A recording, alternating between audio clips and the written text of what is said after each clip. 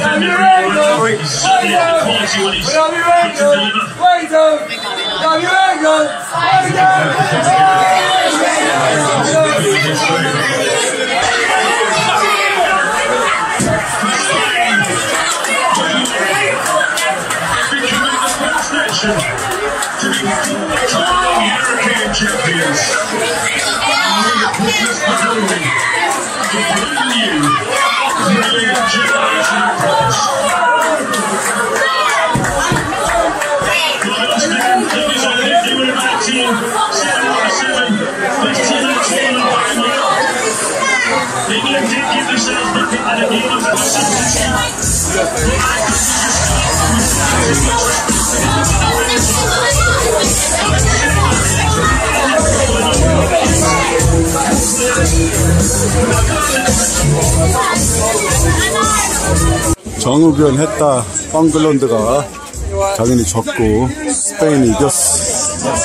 당연한 거지. 너희들이 우승할 자격이 있는 새끼들이냐 이 새끼들아. 잘진 거야 이 새끼야. 정유변을 해줬다. 아싸. 좋았어. 이겼으면 위아더 챔피언이나 벨링을 넣었으면 또 헤이 주드 주드 벨링문이니까. 그 음악을 들었을 텐데 지고 나니까 조용하지. 준우승도 존나 럭키다 졌다 이 새끼들아. 당연한 거야 이 새끼들아. 아쉬울 것도 없어. 결승 간 것도 운이야 이 새끼들아. 자 이제 끝나서 들어간다. 나는 돈 걸어서 100파운드를 땄어 스페인이. 우승하는 걸 당연히 걸었지. 컴온 스페인 좋았어. 17만 5천에서 18만원 정도 땄다. 자격도 안 되는 새끼들이 이기고 좋아하는 골을 못봐. 자격이 되면 우승하라고 는 하겠는데 그런 적이 없어 뻥그런지 새끼들은. 스페인이 우승이다. 뻥글런드 준우승도 감지덕지야 이 새끼들아